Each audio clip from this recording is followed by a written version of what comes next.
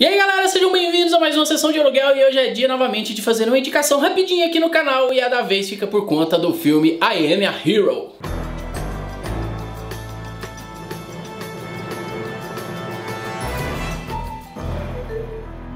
I Am a Hero é um filme japonês de 2015 dirigido por Shinzuki Sato e baseado num mangá de terror de mesmo nome. Na trama temos ali o ator Yo Izumi que dá vida ao protagonista Hideo Suzuki, de 35 anos, que é um assistente de mangaka totalmente desmotivado, preso ali numa rotina de puro marasmo. Nessa primeira parte onde somos apresentados a rotina do personagem, cara, chega a ser pesado a maneira como ele vive. Ele tem tudo para ser definitivamente um cara frustrado, um cara até se brincar suicida, porque tudo dá errado para ele. Porém, se o filme fosse só sobre essa rotina dele talvez não chamaria a atenção de muita gente. Então, um determinado dia, um vírus conhecido como ZQN se espalhou pelo Japão. Esse vírus transforma as pessoas em uma espécie de zumbi, mas são daqueles tipos de zumbis mais ágeis. E ao longo da história também fica claro que eles mantêm ali alguns detalhes de quando eles eram humanos normais, né? Por exemplo, tem um zumbi que ele era atleta quando ele era vivo, né? De salto com vara, e ele fica repetindo os movimentos ali do esporte o tempo todo, né? Digamos que ele lembrem ali também um pouco animais, né? Que estão em busca ali de suas presas e tem também essas vagas memórias em alguns momentos. Logo ali no começo, quando ele tá lutando para sobreviver, né, em meio a esse começo de epidemia, o Hideo ele conhece a jovem Hiromi, um estudante em defesa que também tá ali lutando para sobreviver.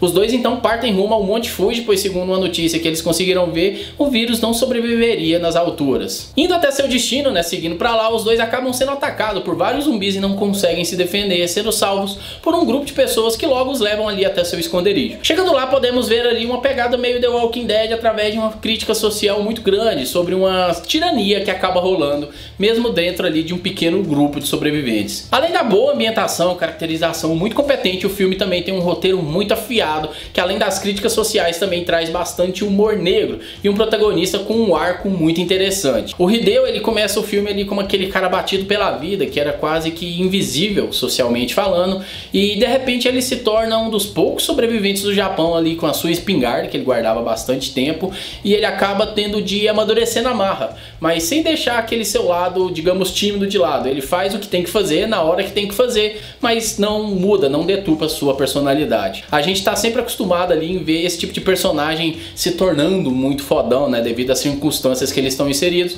E aqui o Hideo, apesar de combater os zumbis como se deve, ele não passa a ter esse traço, pelo menos não até o momento em que a história é contada, né. Acredito eu que esse filme deve ter uma continuação, pois a história do mangá ela ainda continua, tem bastante coisa para rolar. E como o filme foi muito bem aceito pelo público, muito em breve eu acredito que ganhe uma sequência pra gente. Tomara. Se eu tivesse de fazer aqui uma lista das melhores adaptações de mangás e animes pra live action, com certeza a Amy Hero estaria nela facilmente. Cara, é uma adaptação muito digna de sua obra original. Bem galera, essa foi a indicação de hoje. Se vocês já assistiram, digam pra mim aqui nos comentários o que vocês acharam de I Am a Hero. Se você ainda não viu e resolveu ver por causa dessa indicação, volta aqui depois e me diga o que você achou, beleza? Combinados? Espero que tenham curtido o vídeo de hoje. Se gostaram, vai deixando seu like aqui embaixo que ajuda demais. Se você é novo por aqui, já vai se inscrevendo e se possível ativa aquele sininho que também fica aqui embaixo, porque isso fará com que o YouTube te avise quase sempre que rolar vídeo novo por aqui. Bem meus queridos, é isso, foi lindo, aquele abraço e até a próxima sessão. Tchau!